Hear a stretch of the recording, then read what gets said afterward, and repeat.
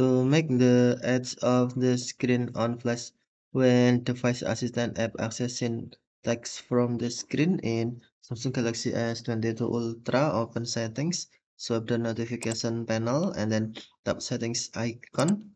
Scroll down settings screen, find apps, and then tap apps. Next tap choose default apps and then tap digital assistant app. On flash screen, tap switch until blue to make the edge of the screen to flash when the voice assistant app accessing uh, text from the text. Okay, thank you for watching. Have a nice day.